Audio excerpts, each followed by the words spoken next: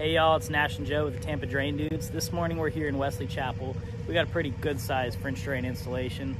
Uh, go ahead and show you what our customers having issues with today. So right here, they actually already have one installed. They used a catch basin as the emitter for the end of this drain, but it is bone dry, meaning it's not catching any water. And it definitely should be full of water and letting water release because the middle part of these two houses is squishy as could be.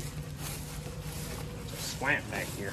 Believe it or not, this side is the dry side. The other side of the house is much worse.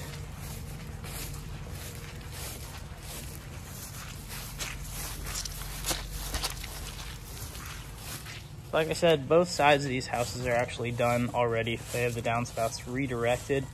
The builder did both of them, so we're not really sure what's going on.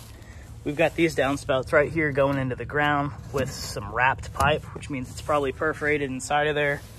That just means solid pipe with holes made for water. It's made to let water absorb into it and carry it to the end of the line. But then on the other downspout connections, they run solid pipe for some reason. Either way, with both of these systems combined, this yard should not be as squishy as it is. All right, y'all, we're at the same job. Here's just the other side of the house. We were over there on that side of the lanai. Come down in between these two houses. Same problem. They got a weird wrapped pipe here at the back downspout, running it forward. Clearly, it's not working very well. Hasn't rained in about three days here either. And we're about in the middle of hurricane season. So this should be pretty dry. They got a couple inches standing water here.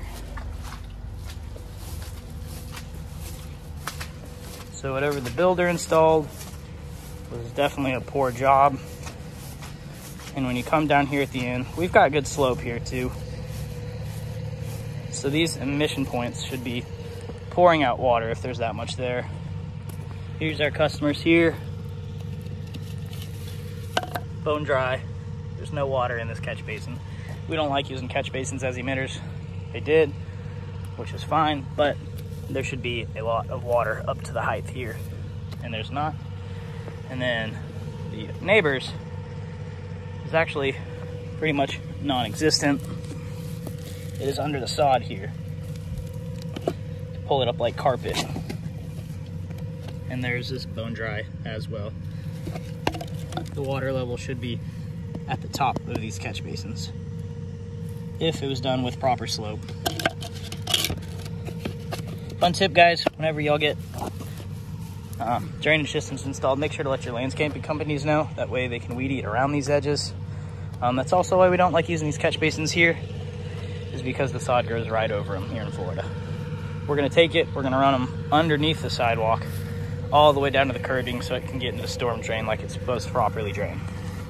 so we just started this drain install right here. Joe's detaching these existing downspout redirectors. It goes this way. And for some reason it comes backwards. And then I guess goes forwards? Rather than to the front. Not quite sure. How we start these jobs, we lay tarps down whenever we're digging.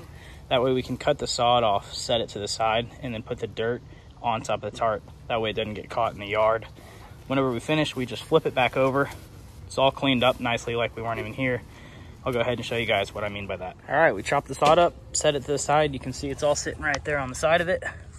Once we did that, we trenched out the dirt, enough so we can get the pipe and still have good slope. Dropped in a catch basin here. This downspout that was coming backwards, we cut it off, reconnected it with our Y into the system.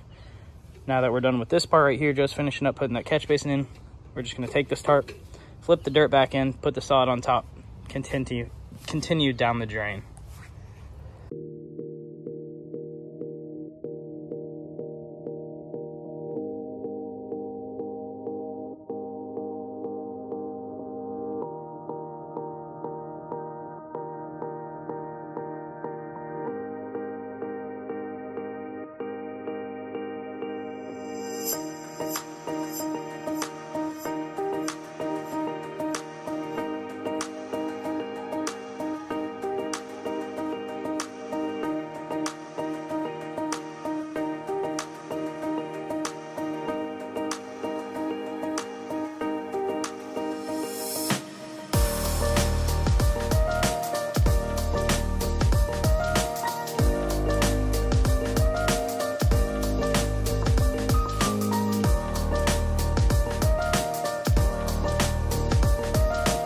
All right, y'all, we're a little bit halfway over this side.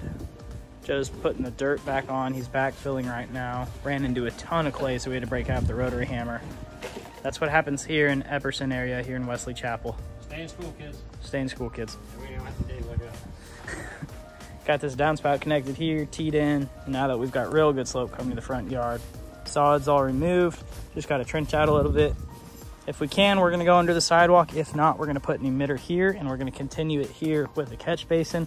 That way they don't have a ton of water buildup and mildew starts growing all along here. You can see how it's darker around here and then lighter where the driveway is.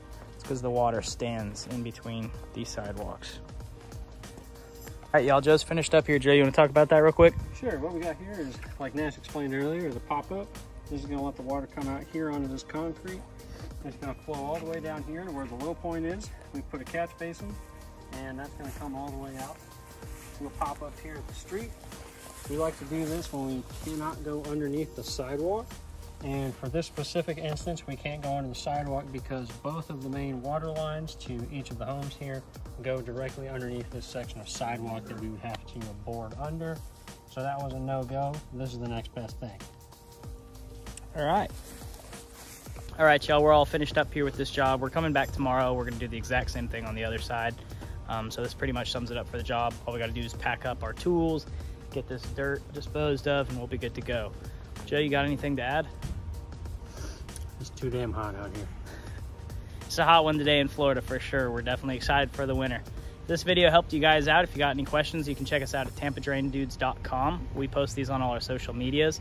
So if you can check us out at Facebook at Tampa Drain Dudes or subscribe here on YouTube if that's where you're watching it from. Catch y'all later.